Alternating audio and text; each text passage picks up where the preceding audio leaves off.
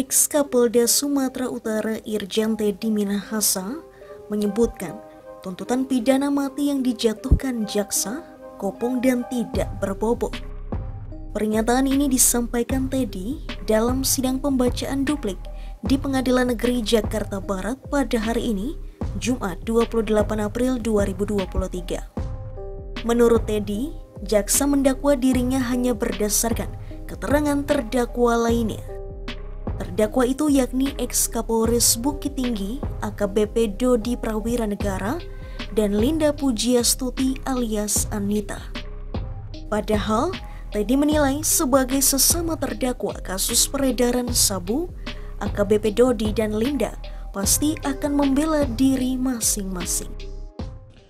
Keseluruhan alat bukti sebagaimana diatur dalam pasal 184 KUHAP tidak ada satupun yang mampu membuktikan bahwa saya terlibat dalam kasus ini.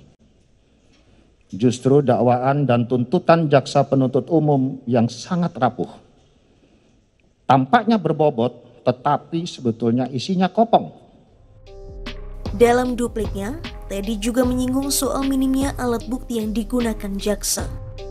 Ex Kapolda Sumatera Utara itu kemudian menyampaikan alat bukti berupa percakapan di aplikasi WhatsApp yang telah dinyatakan tidak sah oleh ahli digital forensik Polda Metro Jaya, Rojet Kuswinoto, dan ahli yang didatangkan penasihat hukumnya, Ruby Alamsyah.